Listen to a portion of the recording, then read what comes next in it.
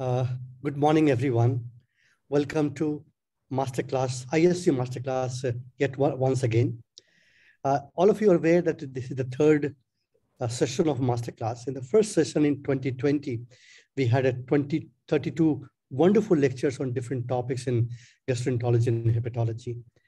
And, uh, and, and last year in 2021, we had a 12 uh, sessions on the clinical case discussion, and they all went very well.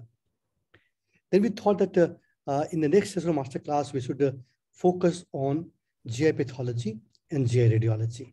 So we are at uh, uh, session three of our masterclass, and uh, two weeks back, we had a one talk on how to interpret liver biopsies. And this talk was given by Dr. Siddhartha Gupta. I'm sure that all of you had enjoyed that lecture at least I learned a lot uh, in that lecture. It's a fantastic exposition of uh, understanding, understanding liver biopsy. If you have not uh, attended that lecture last two weeks back, then, then Nisa from ISG Secretariat had already uploaded uh, the video or recording of that lecture on ISG website, uh, and it is seen through YouTube. So all those who have attended last lecture, please do revisit and those who have missed out, they must listen to that lecture. And the way he, he, he describes what is interface, interface hepatitis, what is uh, bridging fibrosis, which are, which are very clearly described in last lecture. So I think uh, it's worth going through that lecture time and again to understand how to interpret liver biopsy. Now moving further, so now we'll have a lecture, lectures on uh, the biopsies interpretation of small intestine what is a normal intestinal biopsies, mucosal biopsies, and what is a abnormal, what is what are abnormality and how to make a diagnosis of small intestinal disorders. And next week we will have a talk on, uh, next next week we'll have a talk on large intestinal biopsies uh, by Dr. Annapoli Mode. To coming to today's talk, and today's talk is on how to interpret small intestinal liver biopsies. And this is to be del delivered by uh, Dr. Prasenjit Das, my dear colleague at uh, AIIMS New Delhi and he's associate professor, very astute, uh, very hardworking, and very sincere, uh, I would say, uh, colleague and pathologist. And, and I see a fantastic teacher. So we'll learn from him how to interpret uh, small intestinal biopsies. And to moderate the sessions, we have a uh, two very senior people, uh, Dr. B.S. Ramakrishna. I think all of us know Dr. B.S. Ramakrishna. Dr. B.S. Ramakrishna is uh, a director of a Department of Gastroenterology at uh, SRM Institute of Medical Sciences in Chennai. And uh, he had been at uh, CMC Vellore, both as a head of the department and as a professor of gastroenterology at CMC Vellore. Uh, and uh, you know, his work is, uh, is so fantastic in, in inflammatory bowel disease and probiotics and, and so many other areas. Other moderator is uh, again Dr. Uh, Saroj Kant Sinha, my dear colleague, and uh, and he's a professor of gastroenterology at PGI Chandigarh. Again, a great teacher, I would say. So Dr. Ramakrishna and Dr. Saroj Kant Sinha will take you through this lecture, and Dr. Sanjit Das will will explain the small and large intestinal biopsies. Before I hand over to Dr. Ramakrishna and Dr. Dr. Sinha, uh, please remember that uh, you write your questions on chat box uh, this is more of an interactive uh, session, and we, we wish that uh, whatever doubt or whatever question you have, please do write in the chat box, and we try to try to try, try to try to discuss those points and and see that your queries are resolved. With that, I hand over to Dr. Uh, Dr. Ramakrishna and Dr. Saroj Kant Sinha.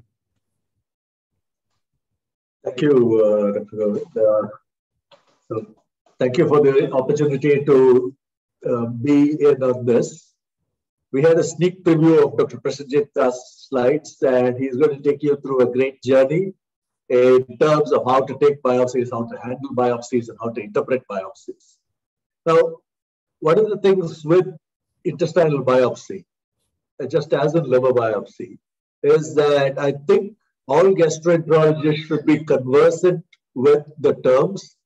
They should be able to uh, even if they are not able to read biopsies, they should be able to read the descriptive part which is given by the pathologist. Because it's not the histology alone that is diagnostic in many patients. It's, it's the histology along with uh, clinical symptoms and a, a, variety of lab investigations, which is important. And something which those of us who are fortunate to work in institutions, we've had great pathologists who specialized in, in uh, uh, gut pathology. But now that I'm in a corporate setup, I can see that you know not everybody, the standards of reporting are not uniform. And uh, Govind and Prasenjit and the ISG have uh, taken great steps to try and standardize this. And with that, I'll, I'll stop and ask Dr. Saroj to uh, say a few words. Thank you, sir. And uh, thanks, Dr. Govind and ISG for uh, giving me opportunity to be part of uh, this program. So without delaying further, I will uh, go further for the um, start of program. Dr. Prasenjit is uh, senior faculty member at All India Institute of Delhi and uh, obviously he has uh, a special interest in GI pathology and he has also published a book on surgical pathology of GI system published by Springer. So obviously he is the authority in, in the field and we are going to listen to him and try to understand the nitty and gritty of uh, nitty gritty of the GI pathology. So I will request Dr. Uh, Prasenjit to start. That as the talk goes, we have some uh, some questions on which we will have poll. So that will help us involve the audience and we'll have a small break in between, uh, something around between 30, 40 minutes time, a small break. We will discuss, uh, take up some questions and then we will proceed further. So Dr. Prasenjit, please. And this is break for not for tea. I mean, you can have a tea in no, break for question. We'll continue with this. Hmm, yes. Discussion. Yes. So, uh, very good morning, everyone. And thank you, Professor Sinha and Professor Ramakrishna for those nice introduction and Professor Makharia for giving uh, me this opportunity. And uh, I will first share my screen.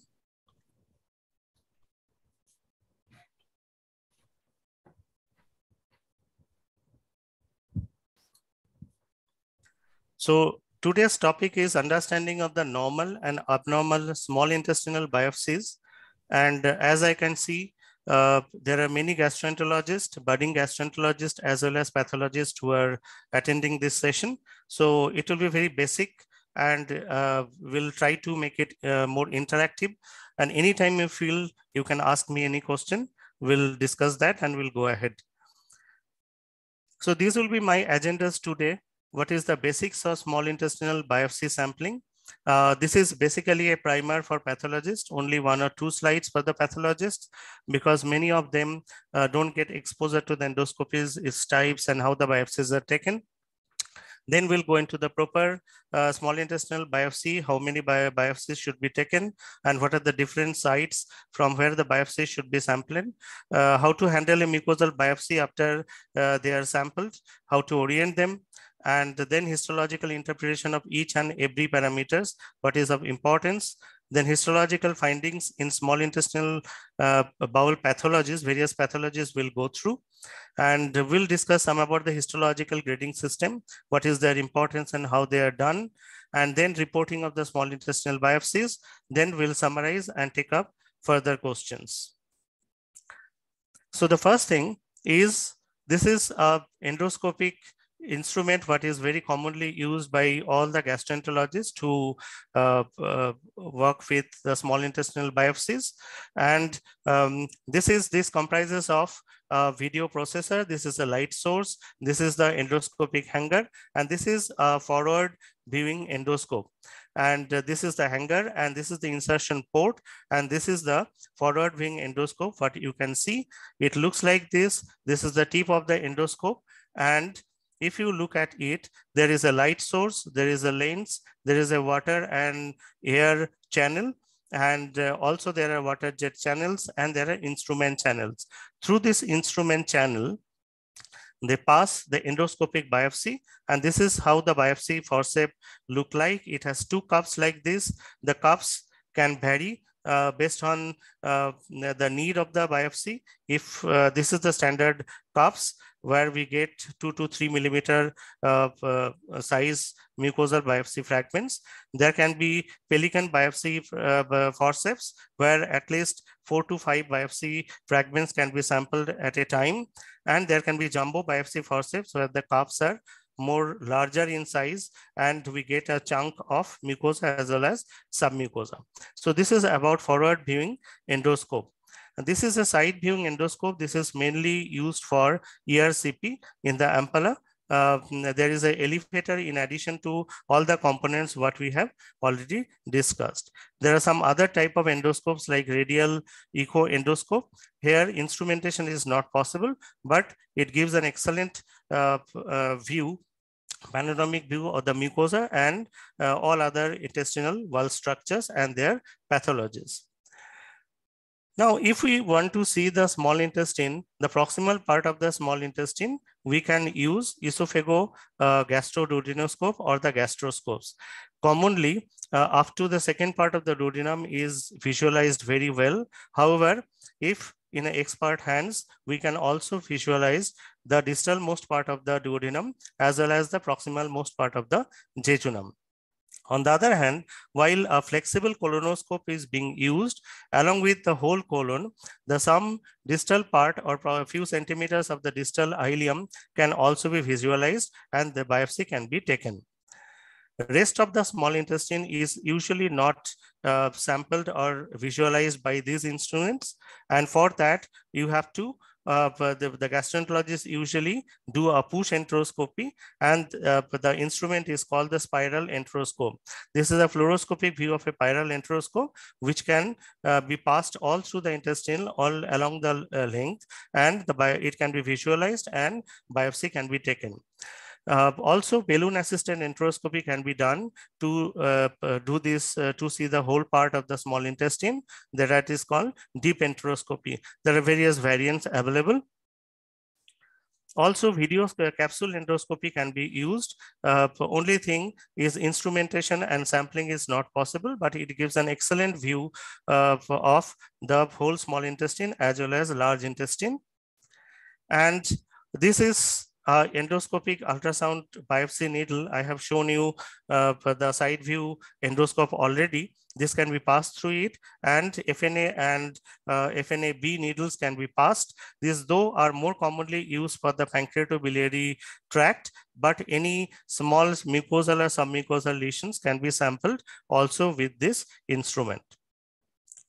So this is the basic of how the endoscopy are being done and how we get the samples in our lab.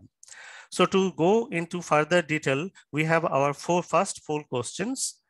The question is, what is the range of optical magnification achieved with a magnifying endoscope? The options are up to 10 times, B is up to 30 times, C is up to 100 times, and D is up to 150 times. It is about magnifying endoscope. Anil, can you show the poll, please? Anil?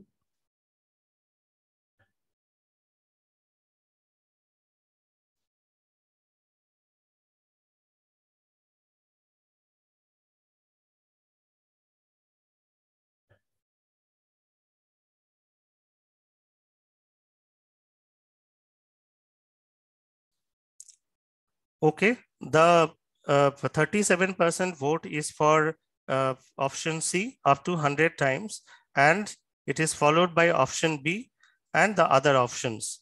So we'll go to see the actual answer. So the answer is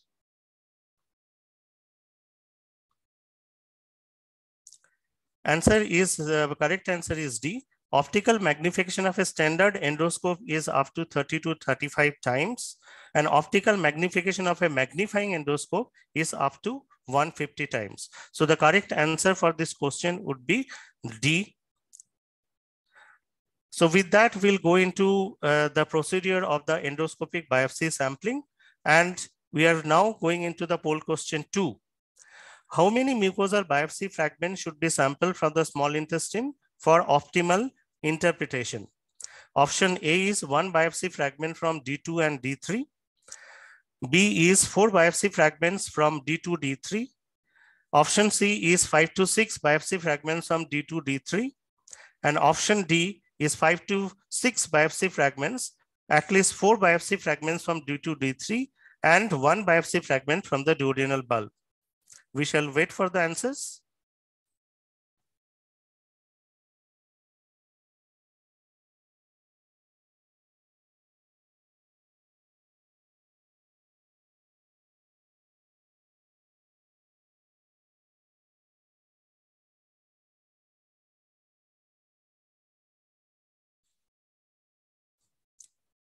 That's excellent. Uh, almost 70 to 80% of the participants are interacting with us. That is very good. And uh, the correct answer uh, they have given is option D, and that is uh, absolutely correct. We'll go through why it is important to take four biopsy fragments from D2, D3, and one biopsy fragment from duodenal bulb.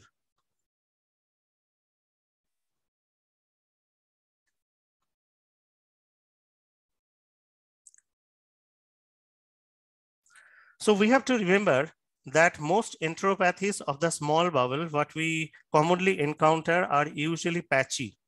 Uh, may it be celiac disease, may it be tropical sprue or Can you stop microscopic. sharing? Uh, Anil, can you stop sharing this? Yeah, stop. sir.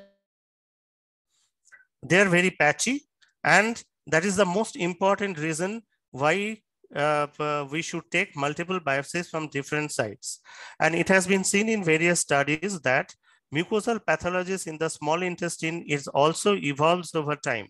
That means if you have a patient suspected of having celiac disease and you have a, taken a biopsy, maybe one to two fragments from D2 only, uh, the pathologist have reported it is absolutely normal. The patient, the diagnose, the diagnosis cannot be ruled out uh, completely. Uh, completely and you have to you may have to follow up the patient do the serology again and take a repeat biopsy from the other sites more number of biopsies. And it has been seen that in 5 to up to 13% of the cases mucosal pathologies are usually missed if you sample from only one site. Now we'll come to the question how many biopsy samples should be taken? We have said that correct answer is 5 to bi- uh, 6 biopsy fragments. Why it is so? It has been seen in various studies including one study we just completed now. We have seen that the diagnostic yield of four biopsy fragments is almost about 100%. Diagnostic yield of three biopsy fragment protocol is about 95%, and diagnostic yield of two biopsy protocol is about 90%. The diagnostic yield means the identification of the pathological change. The diagnosis uh, the histological diagnosis cannot say it is tropical sprue or celiac disease always. I will discuss the, all those. So the diagnosis of pathological changes of enteropathy we are talking about, and it has been seen that as you increase the number of biopsy fragments from different sites, the accuracy of identifying the pathological changes reaches to almost 100%. So site of biopsies, it is uh, recommended you have to take four biopsies from duodenum, uh, the second part of the duodenum, post-ampullary part, and at least one to two fragments from the duodenal bulb. At least one fragment, if you include from the duodenal bulb, that increases the diagnostic yield of enteropathy up to 10%. And it has been seen, especially in celiac disease, the duodenal bulb can be the primary site of involvement, pathological involvement in up to 10% cases, and it is more common in children.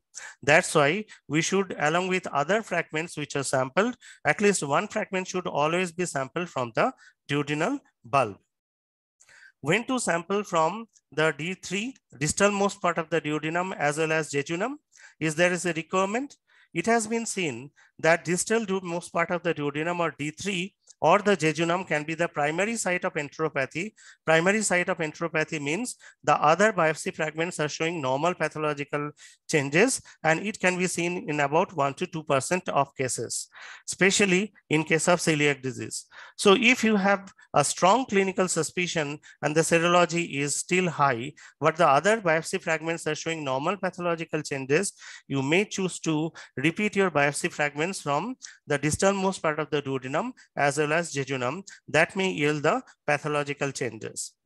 And I need not to say what are the endoscopic features. All of you know very well. This is the normal duodenal fold and um, in uh, celiac disease and many enteropathies, there will be some attenuation of the folds and there will be uh, uh, some mosaic pattern, but it is recommended in various studies uh, uh, which, which um, uh, studied the protocol biopsy protocols. They have said that even if you don't see any significant endoscopic pathological changes, you have to take a biopsy from the normal looking part of the mucosa also, because there also we can see increased IELs or some other findings. That's why the biopsy should be taken both from the um, endoscopically abnormal area as well as endoscopically normal areas. Hence, the correct answer of our poll question two is at least five to six biopsy fragments should be sampled. At least four biopsy fragments should be sampled from the duodenum, second part of the duodenum, post-ampullary part, and at least one biopsy fragment should be taken from the duodenal bulb. Now, you may ask me where from the duodenal bulb the samples should be taken. It has been seen in many studies that uh, if you can sample one fragment from any site of the duodenal bulb, that increases the diagnostic yield by about 10%. So it doesn't matter where from in the bulb you are taking the biopsy. But there are some studies who have shown that if you take the biopsies from 9 and 12 o'clock position of the duodenal bulb, that gives a very good yield. Now, after taking the biopsy, the most important point comes is about the biopsy orientation. And I urge all the attendees that you must understand what is the biopsy orientation and how it is done. Please remember that if uh, uh, this is how the biopsies are taken, this is the endoscopic biopsy cups and the biopsies are usually sampled or collected from the cups by the tip of a needle very gently and that is put on a filter paper. This is Whatman type 1 filter paper that is very commonly available all over the hospital wards and you can put the biopsy fragment in such a way that the mucosa is that looks up and the submucosa goes down towards the um, filter paper. And uh, after you, we have to wait for 10 to 20 seconds so that the plasma, what is present in the submucosa, that coagulates and that adheres the biopsy there. And after that, we have to put the biopsy fragment along with the filter paper in 10% buffered formalin. And always remember the fixation time and what formalin we are using, that is very important. And we need to fix it for four to six hours and send to the pathology lab as soon as possible. Now, it is very important to understand why we need the biopsy fragments mounted on filter paper. It has been seen that if the biopsies are not mounted, mounted means we are uh, letting the pathologist and technicians know in a particular way how the biopsies have been uh, positioned on the filter paper so that they can uh, follow the uh, particular protocol and orient them further while uh, the blocks are being made. I will show you how they are being made. And it has been seen that if you don't put them or mount them on filter paper, the interpretability varies uh, up to 10 to 54%. That means half of the biopsies after all these invasive procedures, the biopsy may not be interpretable because they are not at all oriented. So half of the biopsies, there is a chance that you don't get any uh, uh, meaningful pathology reports. And it is also important that post fixation, because when the biopsy is fresh, you can see the shiny mucosa, but post fixation, the mucosa becomes very contracted. Uh, the whole fragment becomes very tan brown and pathologists and technicians cannot identify actually which is submucosa and which part is mucosa. But with experience, we know that when the biopsy is fixed, uh, as the muscle, some muscle fibers are there in the submucosa. This is the muscularis mucosae, some fibers. When there is contraction due to formalin fixation, there is always a convexity towards the mucosal surface and a concavity to the submucosal surface. But uh, this, this uh, understanding this needs uh, experience and good technical hands and many time uh, uh, proper orientation of the unmounted biopsy are not uh, uh, achieved and we don't get uh, meaningful pathology reports. So we have a video how this procedure is actually done. Uh, I think there is some problem why you cannot play the video.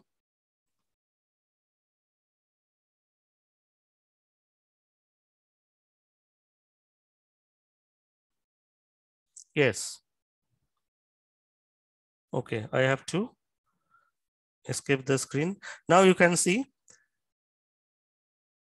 So with a biopsy needle, it is being sampled very gently from the biopsy cups. And it is very important to be gentle here because if we become too harsh and uh, manipulate the biopsy fragment harshly, what happens? The mucosa is sloughed out and we get denuded biopsy on pathological or microscopic examination. And also harsh uh, sample, uh, handling of the biopsy with the needles uh, pr produce an artifact. It uh, under microscope it looks like a extensive edematous artifact, and which also hampers our interpretation. That's why it is uh, very important not to uh, handle the biopsy fragments very harshly and be very gentle with them. So before we go to ideal fixative and duration of fixation, how the duration and uh, fixatives are important. This is a poll question three for you. What is the ideal fixative for the small mucosal biopsies and what should be the duration of ideal fixation? The options are A, 40% formalin and you will fix for 12 hours and keep that in the endoscopy room. B is 10% neutral buffered formalin and fixation time for six hours. C, 40% formalin, fixation time for six hours. And option D is 10% neutral buffered formalin, and you will fix for 24 hours before sending it to pathology labs. So you'll wait for the answers.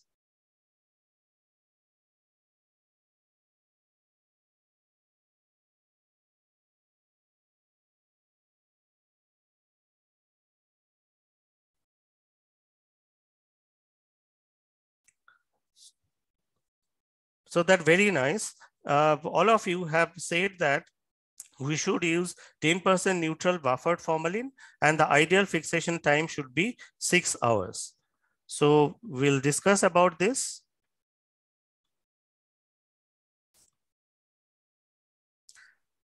The ideal fixative is actually the neutral buffered formalin, 10% neutral buffered formalin, because the problem is if we use 40% formalin, which is commonly available in the uh, market or in a commercialized form, that will char the tissue and the architecture will be completely distorted. That's why you should ask the pathology lab to give 10% neutral buffered formalin. And also please remember with time, the formalin, uh, uh, the chemical property of the formalin, it also decreases gradually because it evaporates. So that's why we use sodium dihydrogen phosphate and sodium hydrogen diphosphate to buffer the formalin and it stabilizes the formalin into the solution. That's why the formalin um, uh, remains stable for a few days. So that's why uh, you also remember that if you have formalin which is lying in the endoscopy room for about six months, you should not use that. And you should always ask for a fresh vial from the pathology lab and how much formalin or fixative should be used. You see, if this is the container, uh, please remember that your biopsy fragment should be completely submerged. And it is always ideal that you use at least 10 times of volume of the solution uh, uh, um, uh in comparison to the volume of the tissue. Ideal volume uh, of the solution to tissue volume is about 10 is to 1 to 25 is to 1. But 10 is to 1 is gives a good result.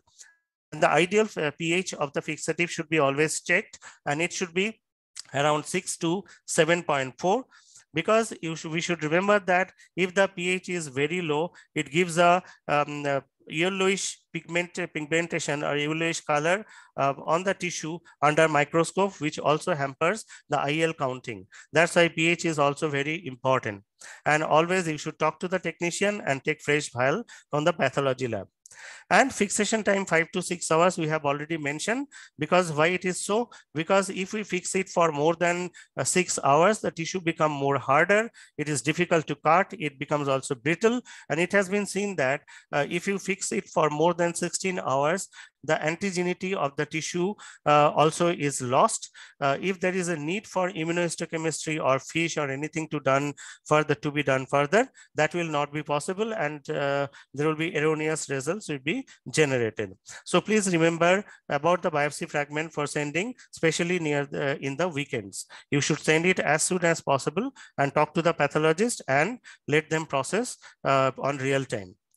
Always keep the vial uh, with the fixatives and tissue in the room temperature because if you think to keep the vial in freeze normal freeze uh, at the weekends that will also produce ice crystal in the tissue and that will also hamper the quality of the sections what we cut and our interpretation. So please keep them in room temperature.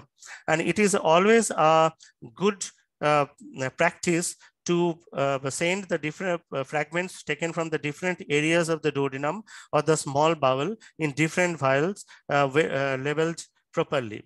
Like this is from the duodenum or the duodenal bulb. This is from the D2 or D3. Or if you have a biopsy from the jejunum, please label them separately in separate containers. Why it is so?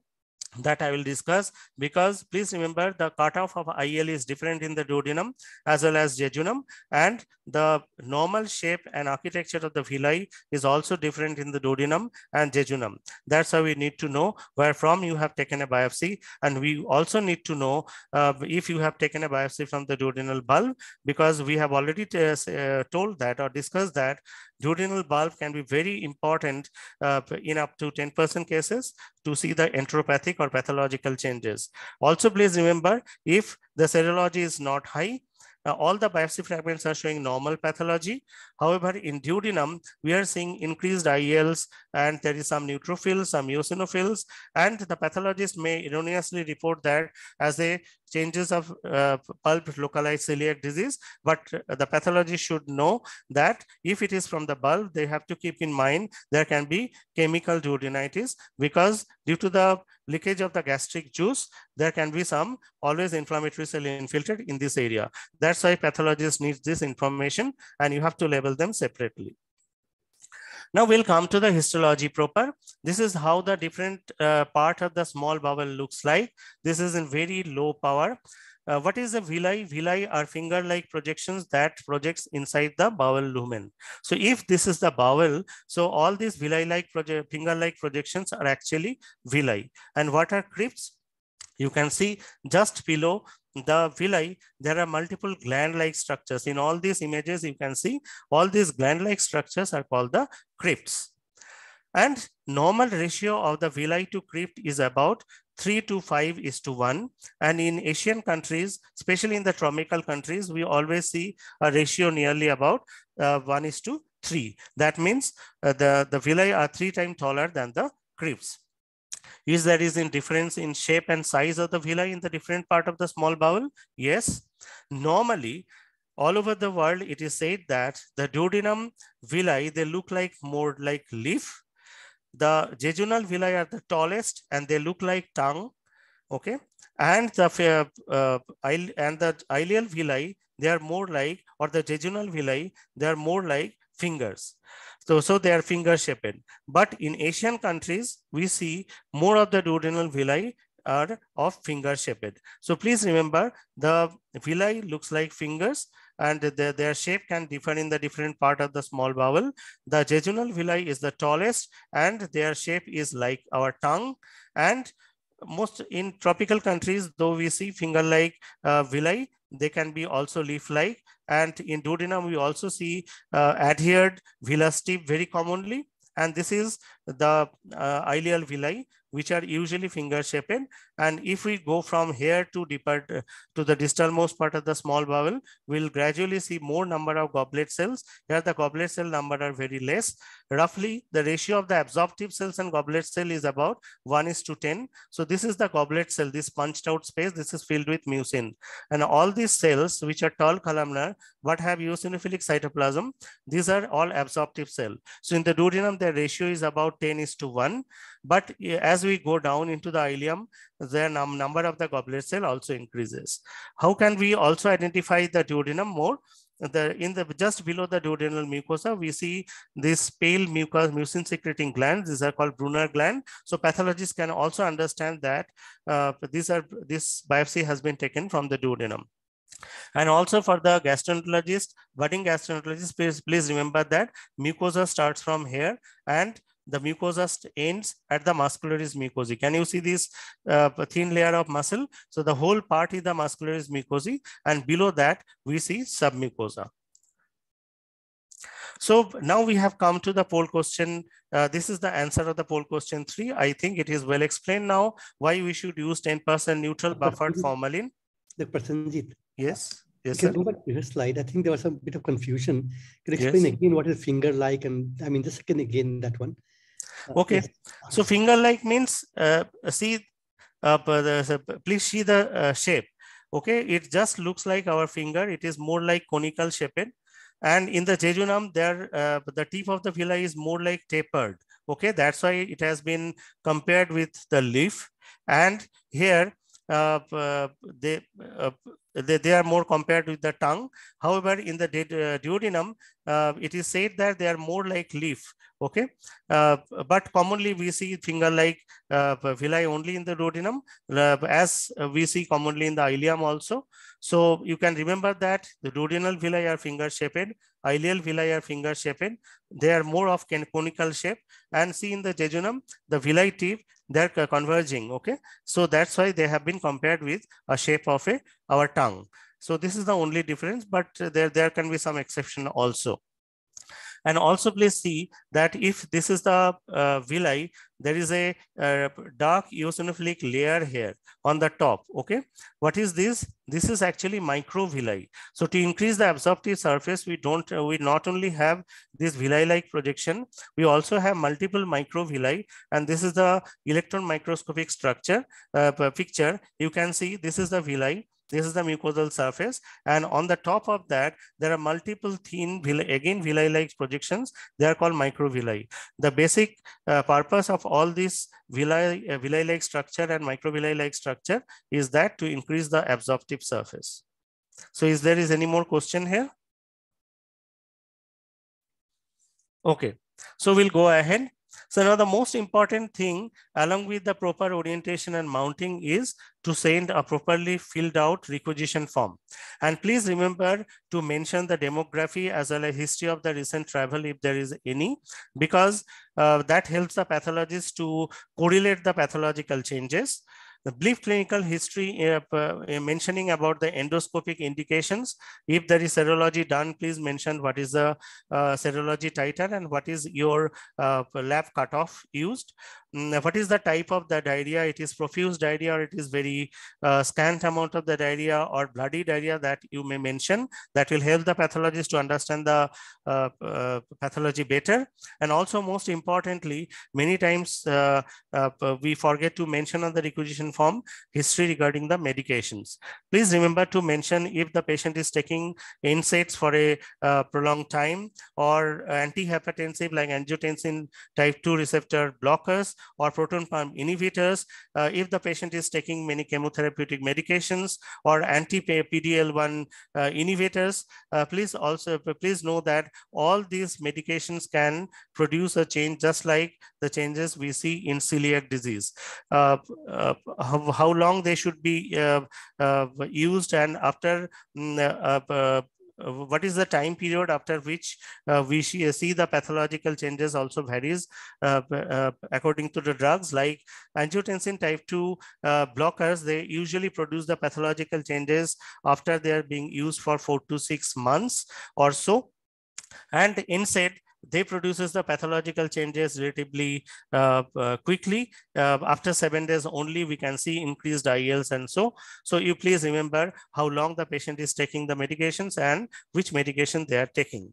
If the patient is already a diagnosed case of celiac disease and on follow-up, please mention if the patient is already on gluten-free diet or not.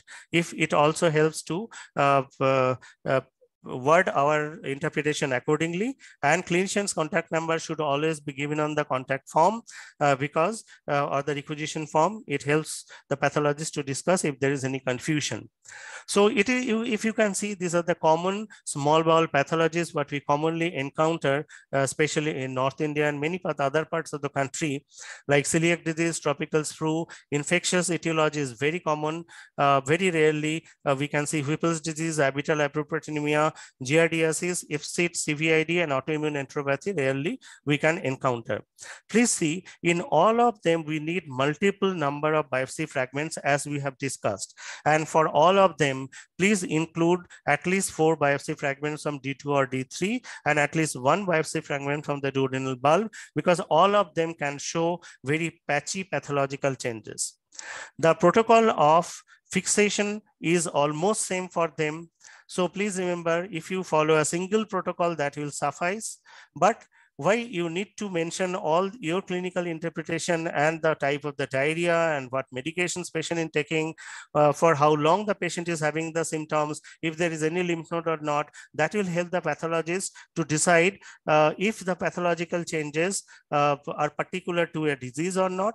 Uh, and also to decide if any further investigations have to be done on the biopsy fragment or not. For example, if we are considering a Whipple's disease where we are supposed to see uh, eosinophilic foamy macrophages, then uh, one biopsy fragment, if you seen, uh, send in glutaraldehyde solution, the pathologist can uh, do the electron microscopy and confirm the diagnosis. In case of IPSID, suspected IPSID, if you send a serum sample, then electrophoresis can be done and immunofixation will tell if the immunoglobulins are uh, mm, uh, uh, normal type or they are not abnormal type. Okay.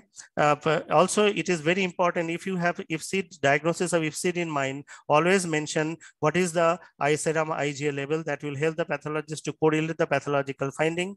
If you are thinking if the patient can have abital hyperproteinemia, in that case, we need to see the fat vacuoles in the epithelium. And the fat vacuoles are usually washed out if you send only the biopsy fragments on from formalin. In that case, you have to send at least one to two biopsy fragments on aluminum foil, uh, keeping uh, that foil on ice as soon as possible, possible that should be sent to the pathology lab. Frozen sectioning should be done and we can do oil staining to see if there is any fat vacuoles in the epithelium or not. And this oil staining cannot be done on formalin fixed tissue. That's why you need at least one biopsy fragment for frozen section examination.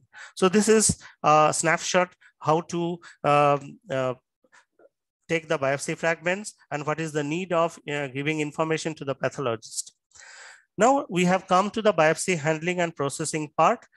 After we have taken this or got this uh, mounted uh, biopsy fragments mounted on the filter paper, multiple fragments on uh, uh, separately mounted on the filter papers, pathologist, at least in our center, what we do, we put a, a very uh, diluted eosin uh, stain on them to see if the mucosa is act actually situated on the top or towards our face so that uh, we can send that or pass on the fragments to our um, uh, technicians for further processing. What our resident do, they put all these biopsy fragments all these filter paper mounted fragments on a larger um, uh, uh, larger fragment or larger piece of filter paper. They fold it just like an envelope and put it in a cassette.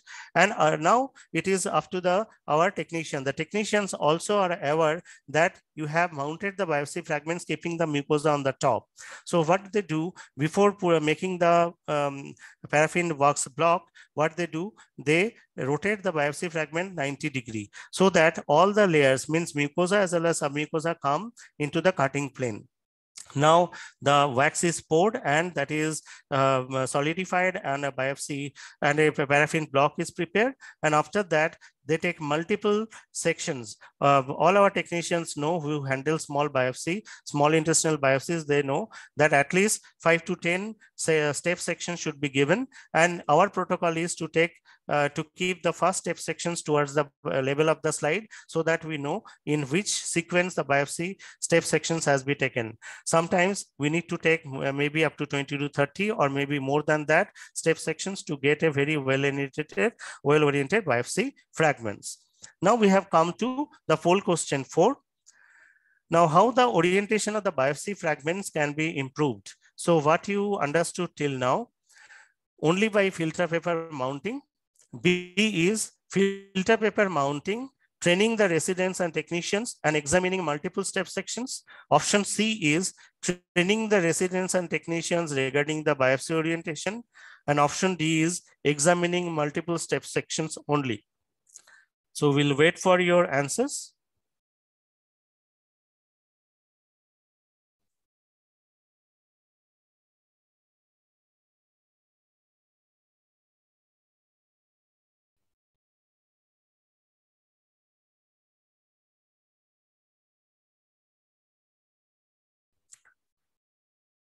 So uh, it is very satisfying to see that you are with me and uh, you have understood the subject very clearly. So the answer is correct. Uh, almost 95% said that uh, the biopsy orientation can be improved by filter paper mounting.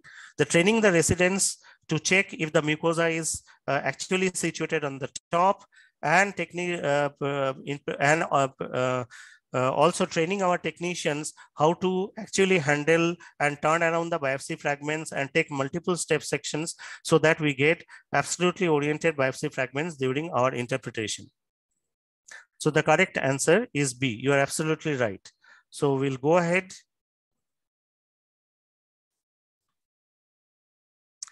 So now we'll come to the part that how the biopsy uh, assessment uh, orient, uh, oriented uh, orientation of the biopsy orientation is actually checked under the microscope. See, there are four scenarios I have given.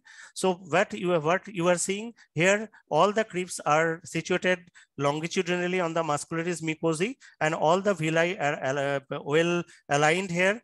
Here, what is happening? Uh, all the crypts are longitudinally situated on the muscularis mucosae. However, only one villi is aligned and rest, uh, rest of them are leaned backwards. Here, all the villi are aligned, but all the crypts are not aligned and they are cut roundly. If uh, uh, if we see round roundly cut crypts, that means uh, the villi are the crypts are not at all oriented. And here in this scenario, neither the crypts are oriented, neither the villi are oriented. So uh, the, actual definition of the biopsy orientation is uh, where we'll say the biopsy is oriented if at least three to four crypts uh, are in a row are situated perpendicularly over the muscularis mucosae as well as the overlying villi are aligned properly like this. So in actual scenario, this is the ideal and this is the aligned segment. What you can identify, all the crypts are perpendicularly situated here and the villi are well aligned. Here, what is, uh, we'll call this limited because though the crypts are longitudinally situated, the villi, they are leaned backwards here see in this, this is also limited because only one villi is aligned and the crypts are also longitudinal. But see this, this is uh, leaned backwards so that it is looking like this part of the mucosa is completely flattened. So that is not so. So most of the, uh, so if the pathologists don't uh, heed attention to the orientation properly, they will interpret this area as three uh, Marsh modified Marsh 3C changes. And see this part of the uh, biopsy fragment is not at all oriented. The villi are not aligned and all the crypts are round. So will not interpret in such a fragment. Also, we have to remember that if the biopsy fragments are taken over Brunner's gland or a large lymphoid follicle, or if erroneously you have uh, mounted the biopsy fragments, keeping the mucosa towards the uh, uh, to down. So there will be artificial effacement of the mucosa and there can be erroneously the pathologist can interpret this is 3C changes. So interpretation in all these areas should be avoided. So this is our answer of the poll question we have already discussed. Now we have come to the poll question five, where and how the IL should be counted in the mucosa. Option A is tip of the villi. Option B is upper one third of the villi starting from the villus tip. Option C is all over the mucosal epithelium. You can count the IELs. And option D is upper one third of the villi, starting from the villus tip, and at least in five well-oriented villus tip should be IL should be counted. So what should be the answer?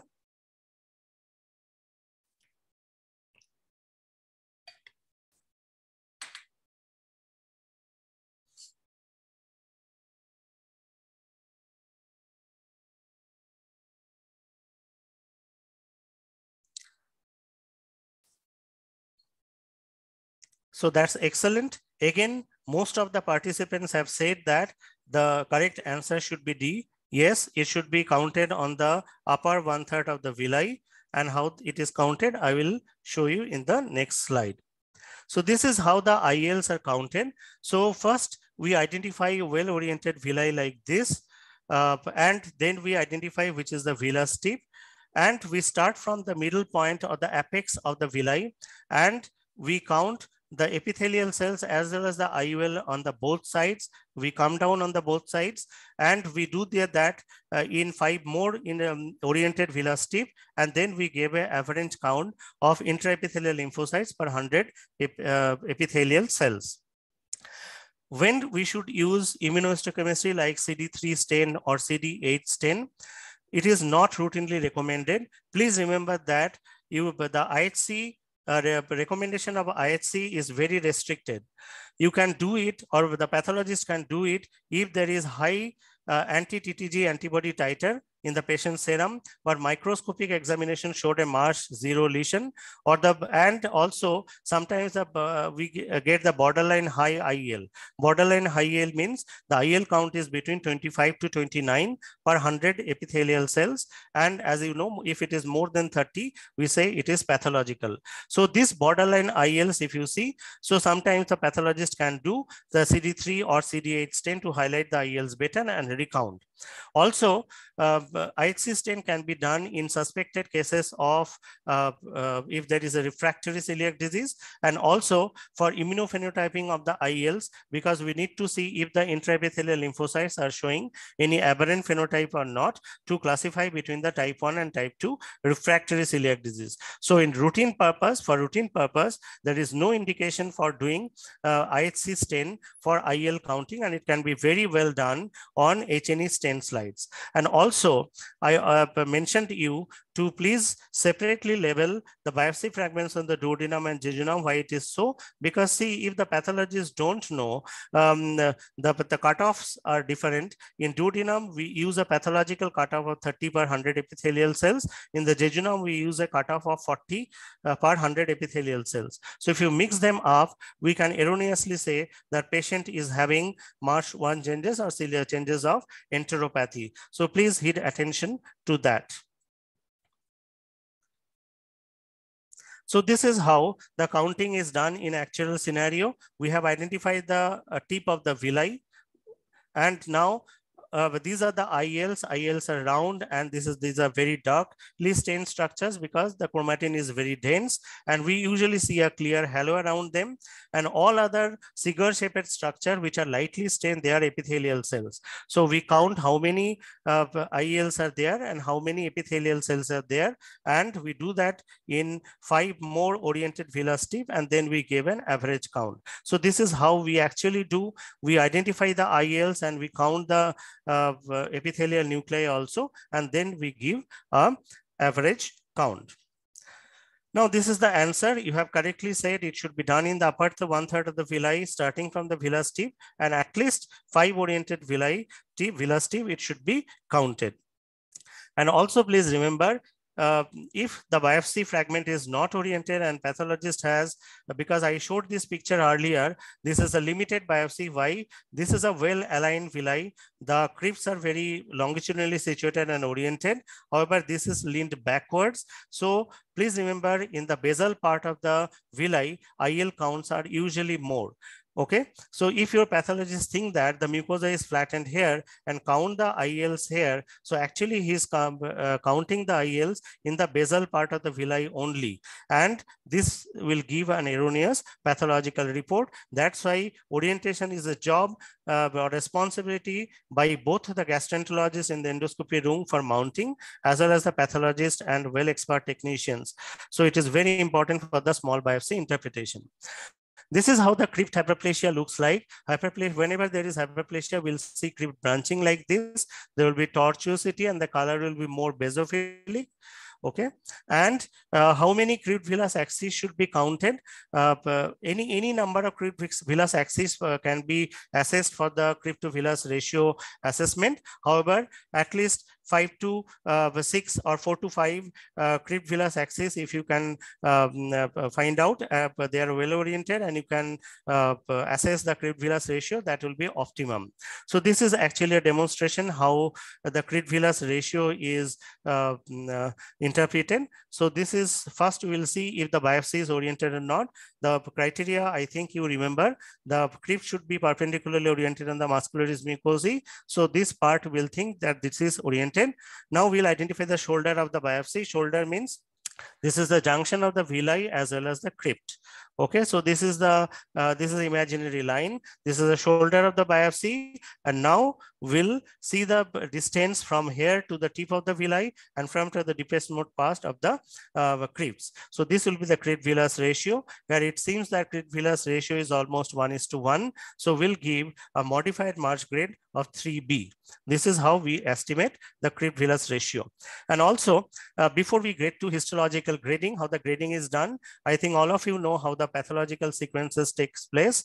Uh, whenever there, the patient becomes sensitized to gluten, there is increased IELs. How the IELs come here in the tip of the villi? Because they have homing receptors there. The receptors are E-cadherin and CCL25.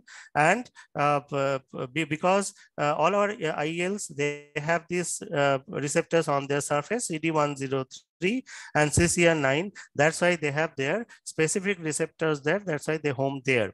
So whenever there is increased apoptosis in this zone due to gluten sensitized IELs, what happens? There is loss of the enterocytes here whenever there is loss of enterocytes, as you know, the at the base of the crypts, there is a intestinal stem cell niche. So there is increased proliferation of the basal cells from here, and they now mature and goes and replenish the uh, uh, lost cells here in the tip of the villi. So this is our images just to show there is increased positivity of the LGR5 cells in the celiac disease in comparison to the normal. So if the patient uh, keep on taking more and more gluten, uh, at last what happens? This regenerative mechanism fails. So there is a uh, phenomena of crypt failure and the villi gradually become shortened. So this is how we the pathological changes takes, takes place. So before we go to the actual grading system, this is the fold number question six for you. Is the histological grading in small intestinal mucosal biopsy is essential or necessary? The answers are options are A, not necessary, B, help in deciding management, C, help it to assess the response to GFD, and D, both B and C are correct. So we'll wait for your answer.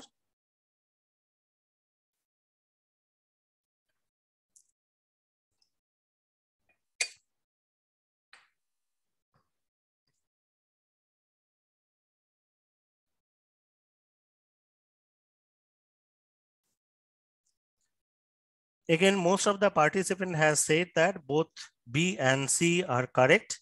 And yes, that is actually the correct answer. And we'll explain that.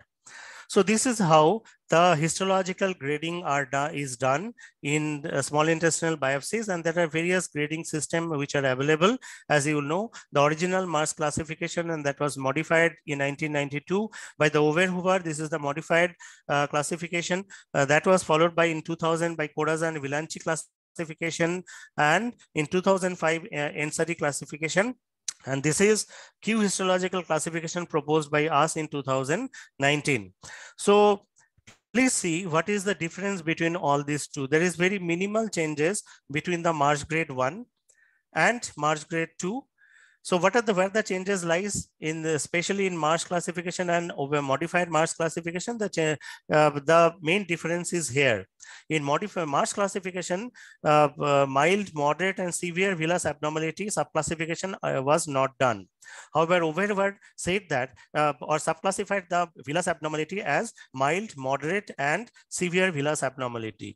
Please remember that uh, all these criteria, all these terminologies are very qualitative.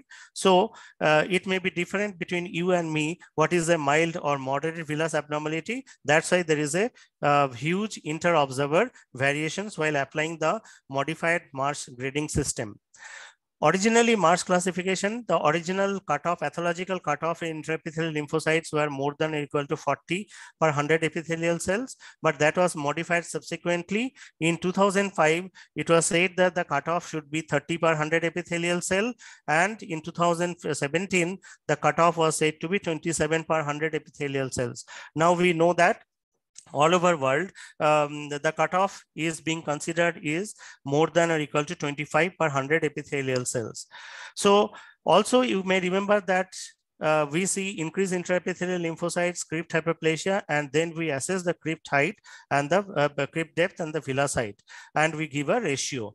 However, it was felt that uh, the crypt hyperplasia is very non-specific, and in the classifications which came later, including ours, uh, this was not a considered was uh, a criteria. Okay, so this is the main difference, and this is how the classification uh, is done. And also why there was a need of Q histological classification because I told you all these classifications have had uh, qualitative criteria. They never said how much villus abnormality should be there that should be uh, graded as mild or moderate. However, qualitative in quantitative classification, we have a quantitative criteria. That's why the inter-observer variation is also less. There is another histological uh, slightly modified classification, what we described that. So Marsh 1 will be when we see normal 1 is to 3 ratio and there is only increased IELs here. In Marsh 2, there will be in addition crypt hyperplasia and there will be increased IELs, but the ratio will be maintained. In Marsh 3A, we said that the ratio would be less than 1 is to 3, but it will be more than 1 is to 1. Okay, so that will be Marsh 3A. In Marsh 3B, the villus height and the crypt depth will be almost equal. So the ratio will be 1 is to 1. And Marsh 3C changes we should only use when the crypt depth is more than the villus height. So this is how we slightly modified the classification and it works very well. And as I said, there is a very wide intra-observer and inter-observer uh, disagreements. While using these qualitative criteria, you can see the disagreements is up to in half, uh, half of the cases, means up to 50%. However, if you use the quantitative criteria, the uh, disagreements is very less uh, and the agreements reaches up to 72%. So this is the correct answer. You have very correctly said so before we go to histological features, very quickly, I will show some histological features in some specific pathologies. Do you have any specific question? Or the chairpersons can uh, just read out all those questions if they have. I think we have we have a couple of questions. Uh, one question is uh, how can we differentiate celiac disease and tropical sprue histologically? That will come to the next uh, section. Okay. Okay. Then, then there is one more question. Uh, Dr. Deepika is asking how to differentiate shortened villi from backward orientation. See, that comes from an experience. I would say hmm. we uh, mainly depend on. See, the, I uh, told you this is a well-aligned villi, and this is uh, backward, this is a leaned villi, which is leaned backwards, okay? We see this typical shape. Uh, uh, this typical orientation tell us that it is not actually flattened. This is uh, leaned backwards, okay? So I cannot uh, tell you how it works uh, on under the microscope, but this comes from experience, I would say. Any other questions, sir? No, that much only. Okay, so then we can go to the. yes, just, yes, just revise for everyone. Okay, there is one more. Okay. Very basic, very basic in this mm -hmm. that uh, Marsh zero yes. normal biopsy. Yes. Marsh one, it means there's increased IEL count. IELs. More than 25. The Marsh two, there's increased IEL counts along with there's a crypt hyperplasia. Exactly. And then Marsh three, when the again uh, IELs more than 25, there's a crypt and there is a ratio of uh, abnormal ratio. So yes. normal ratio is 1 is to 3. So here 3A will be less than 1 is to 3. 2, 3, 3B will be 1 is to 1 ratio and 3C will be crypts are longer or the depth is crypt depth is uh, more than the crypt. More than the villus height. Yes, yes. Right. And so normal ratio is uh, one is to three, one is to three to one is to five. Normal, one is to five, but we don't see one is to five very commonly because right. Of our ethnicity. We commonly see one is to three to one is to four. Right, right. So we have a couple of more questions coming up. I can we can take up here. Uh, okay. What are the differential diagnosis for increased uh, duodenal IEL? So that we'll discuss again. Okay, what is the, the subsequent uh, intraepithelial uh, lymphocytosis? Initially, it was 25 to 29 IEL uh, per thousand uh, enterocytes, and what is the current status? See, we still are using in our practice the cutoff which was given in the modified Marsh that is 30 per 100 intraepithelial uh, cells. Okay, so if it is more than that or equal to that, 30 will take it as pathological.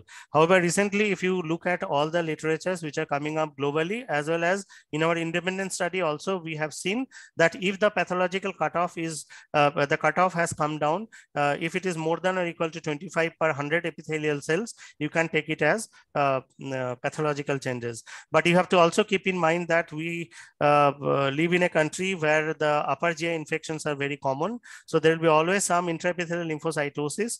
So we should be very careful not to overdiagnose uh, an enteropathy or celiac disease, and uh, we should rationalize our interpretation, and we should discuss uh, in an MDT meeting. Dr. Ramakrishna, any question? No, no, there, there weren't any questions. I think there, there's a lot of a lot of questions in the chat box, but I think many of them are being answered along the way by Prasenjit. Okay, then I think uh, we can go ahead. Yeah. So we'll go ahead with a, again a poll question. Are histological changes in the small bowel pathology specific? A is yes, B is no, C some features are specific, D some features are not specific. So we'll discuss this in the subsequent slides. We'll uh, wait for your answer here.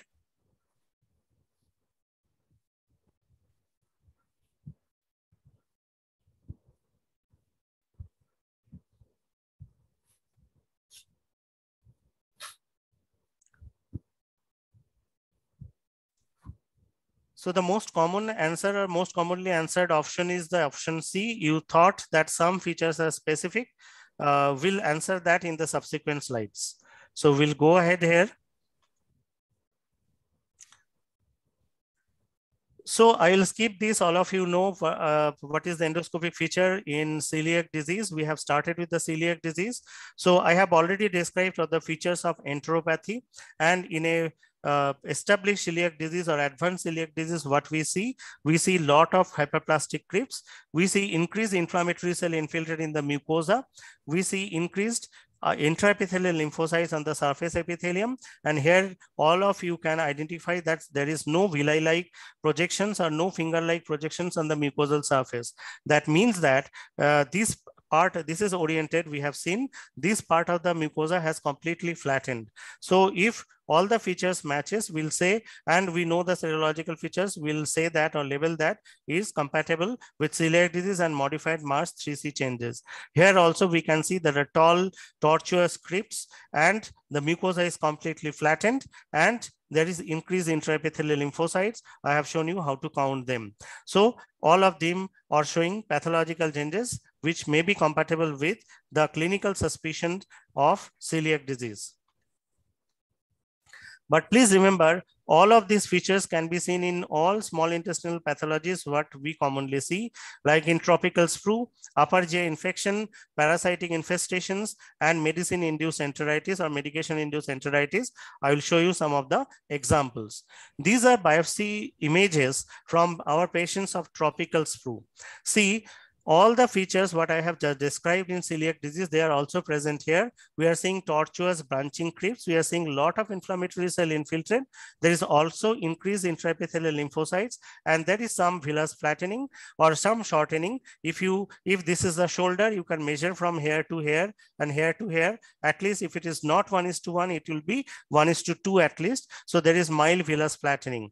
There is some megaloblastic change, but in a practical case that will not help us to make a diagnosis of uh, tropical sprue. So what is important? I insisted on uh, mentioning, uh, you should mention always the medication history as well as history of travel and what is the type of the diarrhea. If you uh, mention that there's a uh, history of travel to the endemic zone, or especially if the patient is from South India, we will think that the patient is having uh, a tropical sprue.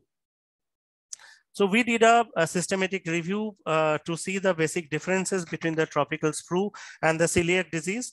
Like uh, just like the endoscopic finding, what we found that if we have roughly 100 patients of celiac disease and 100 biopsies from tropical sprue patients, severe villus abnormality, that means Marsh 3B and Marsh 3C changes will be much more common in patients with celiac disease. And mild villus abnormality or normal villi are more commonly seen in patients of tropical sprue. So this is one difference, but that may not help in uh, a practical scenario when we have to, for a particular patient, we have to decide if it is tropical sprue or celiac disease. Then there is some difference of the IELosis, the pattern of increased IELs. I have already told you where to identify the IELs and the villus tip upper one third. However, in some patients of the tropical sprue, we see a decrescendo pattern and the villi, the IELs are more increased in the uh, base of the villi and the side of the villi. In the epithelium, I'll show you how it looks like, but that is not for all uh, biopsies. And if you count, uh, look at the eosinophilic cell infiltrate, it has been seen that eosinophils can be seen in both celiac disease and tropical sprue. However, if we uh, count the number in tropical sprue, uh, eosinophilic infiltration, the number is more higher, 14 versus 26. So this is how the, uh, so this is the tip of the villi. So if you restrict our interpretation or counting here in all the oriented villi, we'll say the mucosa doesn't have any uh, enteropathy. However, see, just uh, in the middle part and the base of the villi, there are uh, so many increased intraepithelial lymphocytes. So that will not tell us that this is a patient of tropical sprue, but will raise a, um, a, a, question and we can discuss with our uh, uh gastroenterology colleague to uh, think if it is a tropic, can be a tropical sprue or not. So this pattern we say a decrescendo type of IELosis.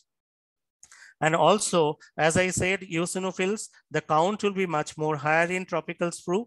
However, eosinophils can also be seen in celiac disease. Eosinophils can also be seen in various parasitic infestations, as this is an example of strongyloides infection in a patient with rheumatoid arthritis under steroid for long period. You can see there are so many eosinophils in the mucosa. So eosinophils, you know, eosinophilic infiltration is also not specific to any disease. However, they may help uh, with the background clinical history and the, uh, the background information. And also if we rule out all other histological abnormal features or possibilities, we can raise if there are too many eosinophils and the eosinophils are causing infiltration or infiltrating the crypts and causing eosinophilic cryptitis, we may raise a question that if it can be an eosinophilic enteritis. Please remember eosinophilic enteritis is a diagnosis of exclusion.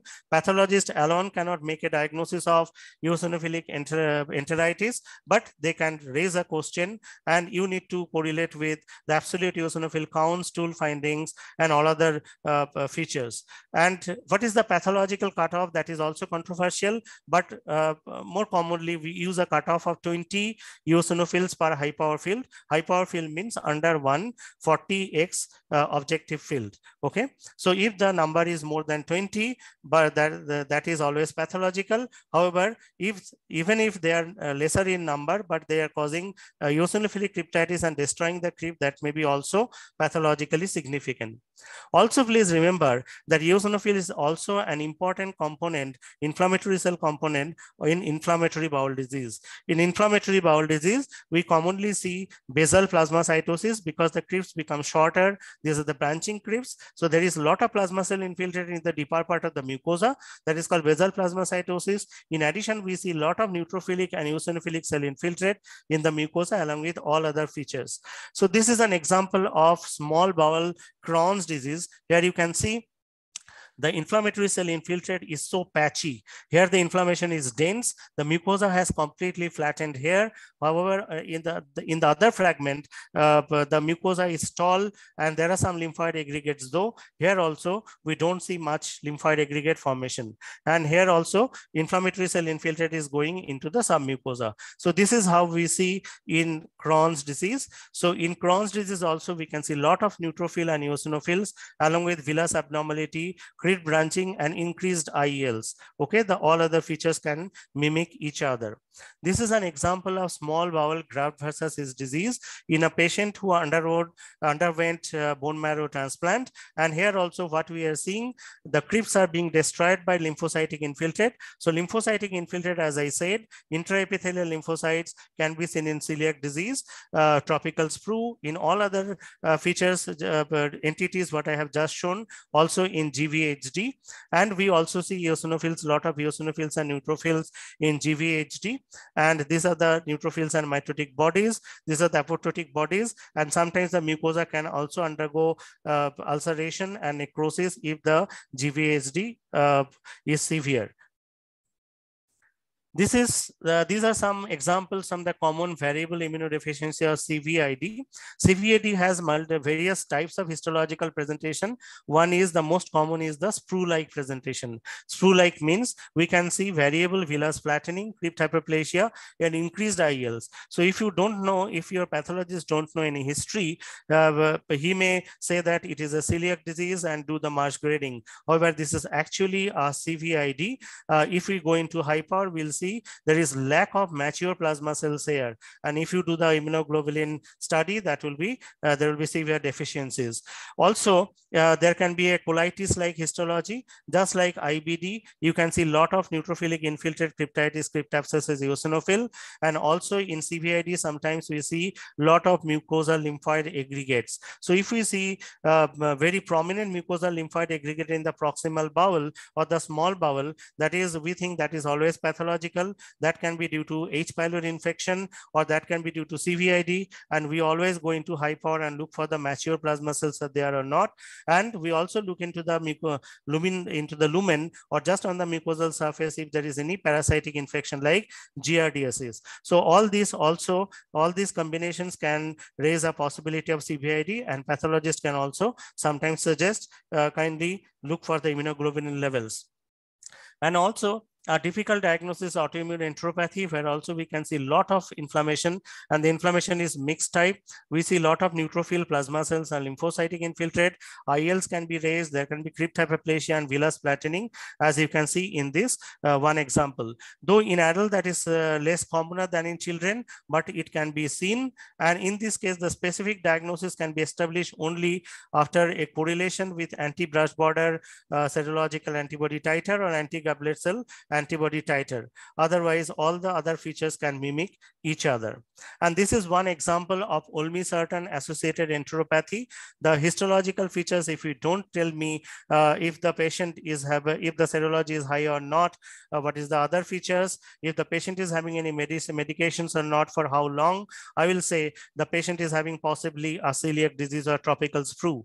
So these patients always are usually seronegative, IELs are increased, and this is a delay delayed type of uh, cell-mediated immunity. And we see villus abnormality due to pro-apoptotic effect of increased interleukin-15, uh, which is usually seen in patients who are getting olmesartan for the longer period. This is an example of IPSID. IPSID also, all other features can mimic each other. Only exception is the villi are very much broadened and we see sheets of plasma cells. Uh, however, other features like increased intraepithelial lymphocytes, lymphocytic infiltrate into the crypts, and lymphocytic and plasma cell infiltrate into the uh, lamina propria are, uh, they will mimic each other. Uh, there are various ty uh, uh, types of IPSID type A, type B, and type C. Unless it is type C, type C, we see atypical cell just like a diffuse large B-cell lymphoma. However, type A and type B, if we don't know what is the serum immunoglobulin level, uh, uh, uh, your pathologist can think that these are the changes related to celiac disease or some other pathologies and may not suspect it to be uh, uh, IPSID. And seed, this is a lymph node aspirate, and we are also seeing lot of plasma cell infiltrate into the lymph node. And uh, there is no IHC which can uh, uh, mark the cryptic type of IgA. So if you want to establish the diagnosis always and always we need to do electrophoresis and immunofixation to see if the IgA type is cryptic or it is normal type. That will establish our diagnosis. So this is the answer uh, to the poll question seven. So histological changes in small bowel disorder are not specific. The correct answer would be B. So what we are identifying, we are identifying the changes of enteropathy. And what are the changes of enteropathy? Just to uh, reinsist, the enteropathy changes are increased IELs, crypt hyperplasia, and or uh, and or villus abnormality and altered crypt to villus ratio okay? And a specific diagnosis can only be achieved if we correlate the clinical serological endoscopic and histological findings and uh, uh always multidisciplinary team meetings should be done. So we have now come to the poll question eight uh, is there is any laboratory test for diagnosing celiac disease on the tissue? I am asking, talking about the tissue, not serum, IgA, TTG level, okay? So any laboratory test for the diagnosing celiac disease? Your option is A, no. B, it is diagnosis of clinical serological histological correlation only. C, small bowel biopsy is diagnostic and D, demonstration of IgA anti-TTG2 antibody deposit in the tissue may help. So we'll answer for your, uh, we'll wait for your answer.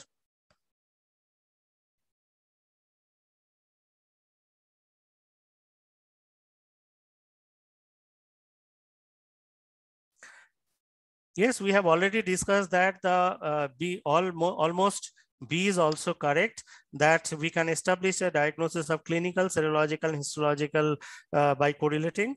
However, my question was if there is any new upcoming laboratory test which can be applied on the tissue and your next question, next answer, 25% of the attendees have given correct answer. And this is the correct answer. Why? Because we can do a multicolor immunofluorescence uh, microscopy or multicolor immunohistochemical uh, uh, analysis to see if there is any deposition of the circulating IgA TT anti-TTG2 type antibody. That cannot be done uh, uh, with a single type of IHC, like for IgG anti-TTG, which is anyway stain the tissue, okay? So we need to identify if the IgA type of anti-TTG has been deposited in tissue in the small bowel or that can be done also in extraintestinal tissue, like in liver, uh, uh, in other part of the bowel, you can do that and you can establish uh, a correlation with the celiac disease what we are identifying is actually uh, a complex because as you know, the TTG enzyme is present in various tissue and TTG causes deamidation of the gliadin peptide as well as it uh, combines and forms a complex while combining with the gliadin peptide. An antibody is formed against this and IgA anti-TTG2 that circulates in our body and it cross reacts with the and the TTG enzyme which is present in various tissue. That's why we see uh, herpes uh, uh, dermatitis herpetiformis like changes or involvement, systematic involvement of celiac disease. However, these circulating antibody deposits can be identified by the multicolor immunohistochemistry or multicolor immunofluorescence staining, just what I have shown. And this is an upcoming and good uh, test. And it has a sensitivity and specificity nearly about 90%. And uh, it is a good tool to identify uh, any extraintestinal involvement in celiac disease. It can be applied. So I will uh, show you very quickly uh, some examples where the small bowel enteropathies, where the where the histological examination can give a diagnostic clue. Till now, we have shown that the histological features are quite non-specific and overlapping type. So one example is lymphangiectasis. All of you know how does it looks like under endoscope. It can be diffuse or it can be uh, for very focal lymphangiectasia. And you see all these milky white spots in the mucosa. And this is how we identify histologically. This is the markedly dilated and uh, vascular spaces lined by endothelial cells and filled with lymphatic spaces. And if there is any obstruction of the lymphatics, we see this type of dilated lymphatics. And what happens after absorption of the fat containing particles cannot be carried uh, to the venous blood. And that's why we see uh, there is lot of uh, protein losing type of diarrhea in these patients. This is example two, where histology can be very diagnostic and the pathologist should give attention to these uh, histiocytes. These are histiocytes which have uh, finely granular eosinophilic uh, granules in them. So you can see on high part, these are the histiocytes which have fine granules, eosinophilic granule. And if we do a simple stain, this is the periodic acid Schiff stain with diastase, we can see all these granules are uh, being highlighted. So with these two stains only, we can diagnose that this is a case of Whipple's disease. And all these are actually bacterial product and the bacteria is the trophi Whipplei, and we see that commonly in Whipple's disease. And this is in one our patients, we did electron microscopy and identified this type of bacilli inside the macrophages. And uh, there is a lot due to infiltration of a lot of these macrophages, the basolateral transport uh, into the blood vessels and into the lymphatic are suffered and the patient presents with diarrhea and malabsorption. This is example three where the diagnosis can be, uh, uh, uh, the histology can be diagnostic, provided you have a clinical suspicion of abetalipoproteinemia and you have sent at least one biopsy fragment in aluminum foil for doing frozen section. So this is a frozen section images. You can see these are the top of the villi and there are a lot of uh, fatty uh, droplets on the epithelial cells. All these fat droplets can be highlighted by oil red O stain, which is a fat stain. Now the problem is if you don't suspect and send the biopsy directly into the formalin, all these fats are actually washed off and oil red O stain doesn't work on formalin fixed tissue. That's why we can, uh, we have, we need to get the biopsy for frozen sectioning if you have suspicion of abital hyperproteinemia. On the other hand, histological analysis can also identify uh, various parasitic infestation like giardiasis, where the sickle-shaped or pear-shaped organisms can easily be identified on the mucosal surface coccidial infection, especially in immunocompromised patients. Like this is an example of cryptosporidiasis present on the mucosal surface. These are rounded bodies. These are microsporidiasis, uh, the very small uh, rounded uh, structures which are present inside the epithelium. And this is an example of strongyloides infection, which are present. These are the nematodes which are present inside the crypts and they are burrowing down into the crypts. This is an example of strongyloides hyperinfection in immunocompromised patients. Also, small bowel biopsy can be diagnostic in case of amoebiasis. This is an uh, ileal biopsy, and we see mucosa is ulcerated, and there is a lot of eosinophilic necrosis. And the pathologist, if you see this type of eosinophilic necrosis, always going to high power and look for this macrophage-like structure. These are actually uh, trophozoites of uh, amoebic trophozoites, and they usually engulf the RBCs, which we call erythrophagocytosis.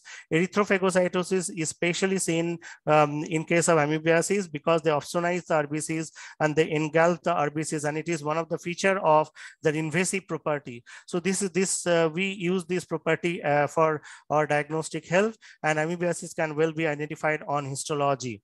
And very quickly, I will show where histology can be diagnostic, especially in case of some enteropathies in neonates. I have discussed rest of all, and uh, I will show some example of microvillus inclusion disease. This is a disease of uh, profuse diarrhea in case of neonates, as well as there is a congenital tufting enteropathy or epithelial dysplasia.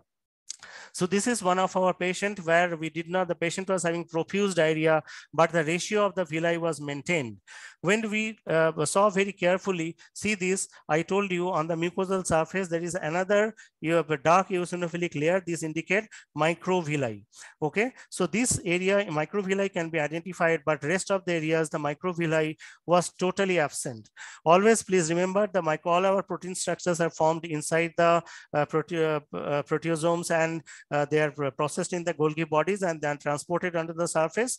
So in this case, there is a specific mutation of the MYO5B gene in the 18q long arm of the 18 chromosome. Uh, and that's why the microvilli which are formed here, they cannot be transported on the mucosal surface.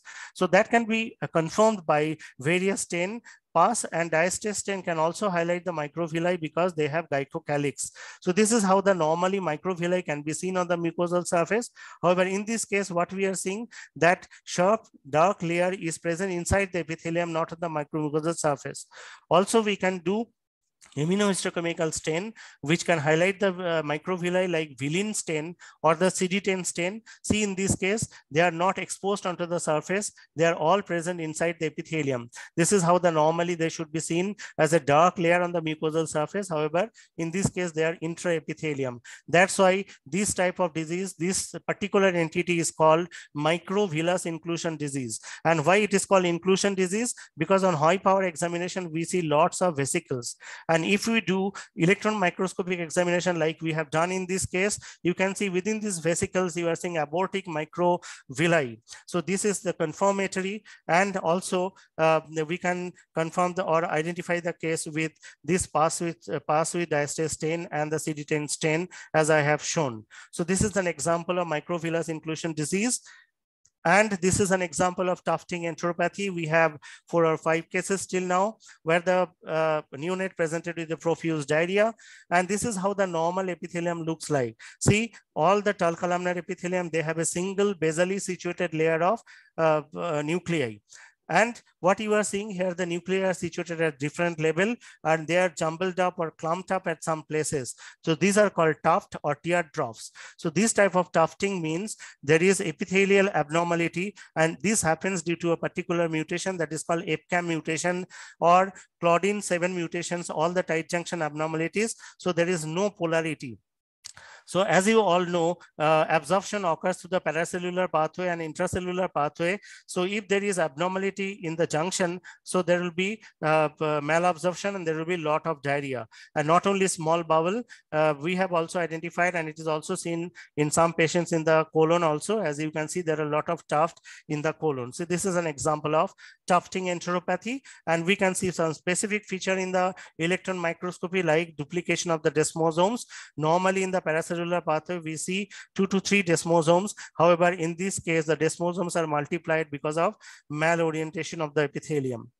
And this is how the reporting are done ultimately. As a gastroenterologist, uh, you should understand how it is reported. Uh, good pathology report should mention how many biopsy fragment was received, if they are separately labeled or not. Uh, then interpretation, if they are separately labeled, interpretation should be done from uh, for uh, differently for the different separately for the different biopsy fragments, like for, uh, separately for D1, separately for D2, or for jejunum. And all this information should be given given in the descriptive terms like IELs, what would be the, was the count, crypt hyperplasia was present or not, what is the crypt villus ratio, uh, all other findings like luminal parasites are present or not, all other histological findings, uh, the pathology should look like if they uh, follow this protocol, which I will show the reference where from they can get this reporting protocol. They can just put uh, tick or cross, and that's why they will not uh, miss any of these points. Like if there is loss of goblets, it's in the surface mucosa, if there is lamina propria fibrosis, if there is thickening of the subepithelial basement membrane, or if there is dilated mucosa lymphatics, because not only all these important histological features. These will give some specific diagnosis. If they are seeing any lymphoid aggregates, lack of plasma cells, or um, a lot of plasma cells, all these will help to reach to a specific diagnosis. Then final interpretation and modified Marsh grading um, uh, should be mentioned and uh, it should be discussed if there is any discrepancy. And this is how uh, from where you can get, get all the uh, uh, protocol which was described. This was a project um, very nicely uh, taken up by the ISG and IAPM together, the pathology, our pathology society and the ISG. And we published this joint consensus in 2021. You can get that in Indian Journal of Pathology and Microbiology in January uh, volume, uh, volume. And this is freely downloadable. I will request all of you to download that. So that we don't miss the important points. So I will summarize my presentation by saying that sampling, orientation, and processing and interpretation of small bowel biopsy should be done as per recommended protocol only, because there are so many things. It looks very simple looking at a small bowel biopsy, but if we are uh, wrong at any of these steps, the interpretation will be wrong non-standardized procedures, non-orientation and non-uniform reporting protocol results in improper management and high inter-observer disagreements. And I told you the disagreements are at currently up to 50%. Minimum number of small bowel mucosa to sample is five to six. So always sample in multiples. Uh, please include four biopsy fragments from D2 post-ampullary part and at least one biopsy fragment from duodenal bulb. One biopsy fragment from any part of the duodenal bulb is sufficient. Mounting the biopsy fragment on filter paper and labeling fragments from different parts of the bowel separately helps pathologists to examine the histological findings on each of the biopsy sites separately because we know how to judge uh, the chemical duodenitis. Um, uh, then uh, also uh, we need to see um, if there is uh, uh, the disease is patchy and also um, it, it is to mention that I have always mentioned that you can mount the biopsy fragments on filter paper, Whatman filter paper type type 1 uh, filter paper. However, it can be mounted on any color filter uh, color uh, uh, piece of papers, or it can be mounted uh, on citrate uh, on citrate papers, on resinoid papers, or even some people use vegetable matrices like cucumber, slices of cucumber or slices of potato to mount them. All of them will suffice for the pathologists. So histological changes, as we said and discussed, it is common in many small bowel proximal pathologies. Like, uh, so what we are doing, we are identifying the enteropathies and the diagnosis is basically uh, a combination of clinical, endoscopic, serological, and histological correlation. Grading of enteropathy changes on the small bowel biopsy helps in management because GFD, as you all know, is uh, only given if the changes are uh, more than or equal to Marsh grade 2 uh, and it helps to uh, judge uh, what is the response to the GFD on the follow-up biopsies. Uh, histology can be diagnostic in a few small bowel diseases, like what I have mentioned, especially in infections, parasitic infection, lymphangiectasia, abetalipoproteinemia, Whipple's disease. But it is of utmost importance that you mention your clinical possibility and you discuss with your pathologist what else sample will be required along with uh, the formalin fixed tissue to reach to a proper diagnosis. And uh, we cannot deny that mentioning the relevant clinical and serological information helps pathologists to correlate the histological findings and decide on ancillary tests uh, uh, to be put on the biopsy sections uh, to reach to a diagnosis. I have got uh, this uh, question from many conferences what I attended. Many clinicians ask me if the if I mention the serology, the pathologist will be biased, but that is not true. Pathologists are seeing enteropathy changes. He can correlate and he can give a more valuable information if you mention the serology on the requisition form. So I think that is all from uh, my, uh, my, end. And if there are questions, we'll be happy to uh, take them up. Okay, uh, so thank you, Dr. Prasenjit. Uh, I, I, think we, we are just running slightly late. Uh, we've had a lot of questions. A lot of the questions you've answered. There are some questions concerning IBD, which I think will be handled in a future session of the ISG master classes. So we don't need to take them. Uh, I, I think the lesson for the students is that when you look at small bowel biopsies, first look at it under low power, look at the villi, look at the crypts, see if they are normal, look at the cellularity of the lamina propria, which is generally not very cellular. Then, then you look under higher power to see what kind of cells are there, whether they are the patient's own cells or the foreign cells or whatever. And then, then you come to all these things that we've talked, uh, Dr. Prasenjit talked about. He's discussed it beautifully. I think there are a lot of, uh, there were uh, appreciation for your this thing on the, uh, on, on the chat box, uh, Dr. Saroj, you want to say a few things? Thank you. Uh, no, sir. It's uh, okay. Very, very exhaustive talk. So I think uh, most questions are already answered.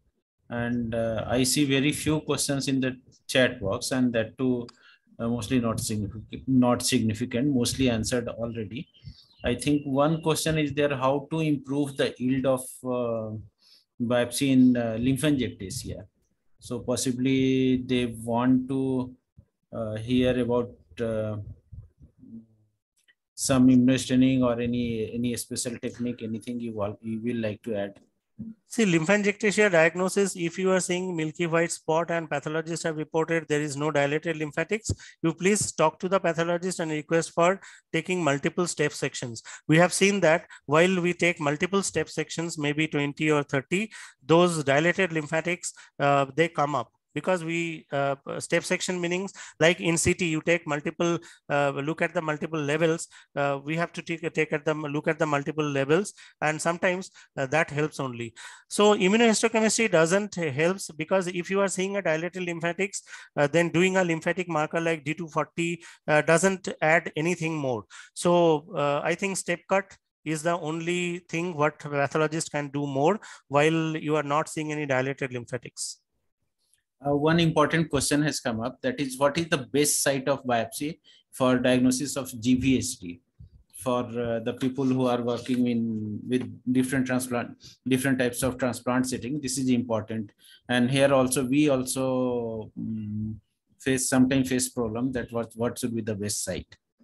See, uh, the, it, uh, the, uh, the answer can be very complicated, but most importantly, it is always important to remember we need to uh, sample from different organs. Like if you are combining one biopsy from liver, one from GI tract, one from skin, identity, but the chance of identifying GVHD will be much more. And if you talk about the uh, intestine, then always one biopsy fragment of the uh, biopsy from the proximal small intestine helps more than the biopsy fragment from the distal most part? One very direct question I'm that uh, if endoscopist, what will you advise endoscopist? If endoscopically the mucosa appears normal and the, uh, the clinician is suspecting GVHD, you still recommend uh, taking biopsies from those areas, upper GI or lower GI? I think so because uh, see there are different grades of graft versus host disease. In the initial GVHD means type 1 GVHD, we can see only few apoptotic body and one or two involved crypts. So I think if you have a strong suspicion and all other clinical features are like GVHD, you should uh, go, uh, you, should, you should take biopsy from normal looking mucosa also.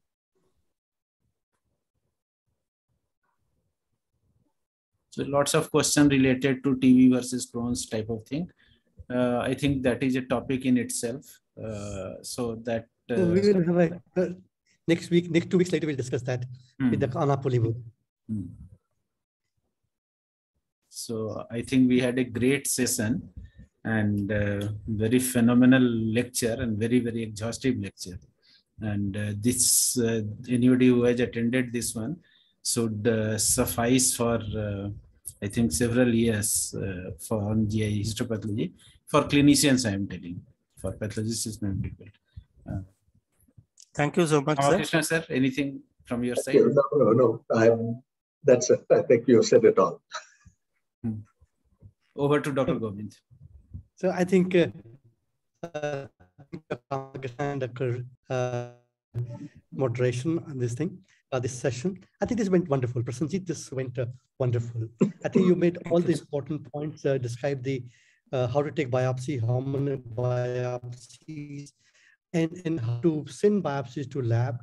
One of the important point I want to highlight along with Dr. Ramakrishna and uh, Dr. Sinha, that giving information to pathologists and radiologists about clinical scenario is of utmost importance because they can they can see the interpret the radiology and pathology in the clinical setting. We know nothing except a few the uh, percentages so today that some are specific, but at many places they're not specific. They have to be interpreted along with the clinical scenario and also along with the other diagnostic tests. So that's a very important that we must provide uh, enough uh, clinical data to pathologists for a better reporting. And whenever you fail to get a, a appropriate diagnosis, then good to call or phone the pathologist or radiologist and talk to them. Okay, these are my, our clinical suspicions. Uh, will you please help? Because this two-way talk always helps. And this is how we know, and Dr. Ramakrishna and uh, Prasenjit, so we have a uh, radio conferences and uh, pathology conferences and we discuss. Uh, we have seen many times uh, that uh, what have been reported on pathology or radiology report, they're totally different once we discuss one-to-one and uh, you resolve the diagnosis. So I think, uh, personally, you made a point very clear that talking with a, a pathologist and radiologist is uh, very, very important. And lastly, that you described uh, how to interpret the crypt and villus architecture or abnormality. You described what Marsh grading, Marsh 0, Marsh 1, 2, and 3. Just to summarize once more, because this is, I thought this is one of the most important takeaway, that if IELs are more than 25, uh, they are supposed to be abnormal. But in our country, we think 30 is a cutoff value per 100 epithelial cells. Then Marsh 1 is there's increased IELs, but normal crypt ratio. Marsh 2 is increased IELs, but uh, the crypt hypertrophy is there. Marsh 3 is divided into Marsh 3 and 3B and 3C. So all of them will have increased IELs along with in 3A, the crypt ratio will decrease uh, from normal 1 to 3 to 1 to 2. Then in Marsh 3B, it will be 1 is to 1. And Marsh 3C, the crypt depth is more than the, the villus height. And, and many of these changes will reverse uh, after you treat them. Because one of the important things about small intestine, that small intestinal mucosa is a regenerative. It's not like uh, liver pathologies, which uh, fibrose, the, the fibrosis after inflammation. But in small intestine, there's no fibrosis, especially once you're talking about mucosa. So on treatment, the most of the, these changes will return back. So with that, uh, uh, thank you so very much, Prasenjit and Dr. Sinha and Dr. Ramakrishna for a wonderful series. And thank you everyone for joining in for this masterclass. Uh, it's always joy to see all of you joining and learn from each other. Uh, thank you, Tech Team. Thank you, Nisa, and have a great day ahead. Before we close, uh, let me invite you for one other masterclass on 12th of June, the same time, 11.30 on Sunday, 12th June, will we talk about uh, how to interpret uh, the large intestinal biopsies, the biopsies of uh, ulcerative colitis, Crohn's disease, and how to differentiate Crohn's and tuberculosis will be dealt by none other than Dr. Anna Pulimood from CMC Vellore. And you know, uh, she is the authority, not only in our country, but worldwide authority on biopsies of uh, IBD and tuberculosis. And she has published uh, multiple important papers which are quoted all over. So don't miss to listen to her on 12th of uh, two weeks uh, from now. And we have bit, we'll keep all these uh, master classes on ISG website. You can visit at any point of time. With that, uh, thank you very much and have a great day ahead. Okay, bye-bye. Thank you. Sir. Thank you very much.